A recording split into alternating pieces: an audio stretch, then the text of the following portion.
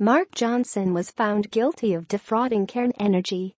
By Reuters 12.15 a.m. Eastern Time.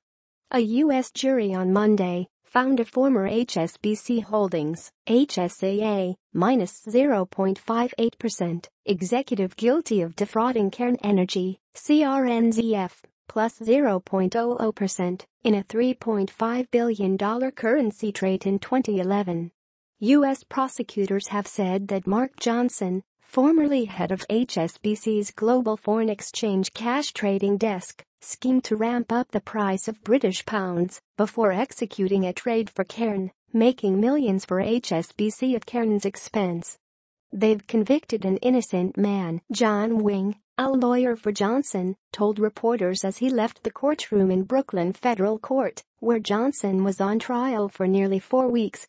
Johnson, a 51-year-old British citizen, was the first banker to be tried in the United States as a result of worldwide investigations into the multi-trillion dollar per day currency market.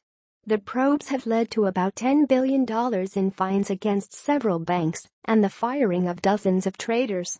According to court filings, Cairn hired HSBC in 2011 to convert $3.5 billion into British pounds sterling in connection with the sale of an Indian subsidiary.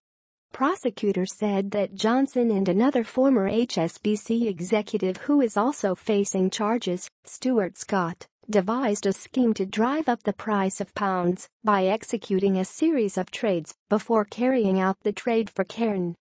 For more on fraud cases, watch Fortune's video, 0 o'clock. Such trading in advance of a client's order to make a profit is known as front running. During the trial, Jurors heard numerous tape-recorded phone calls between Johnson and others discussing the trade.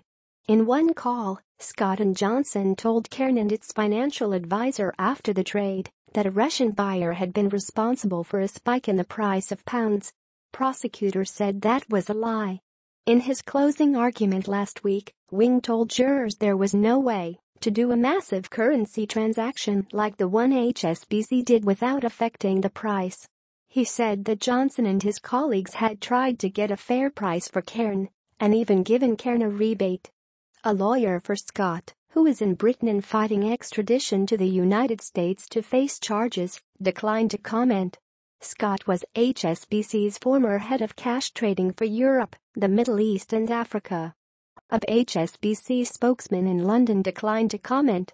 HSBC spokesman Robert Sherman said before the trial that Johnson left HSBC earlier this year and Scott left in 2014.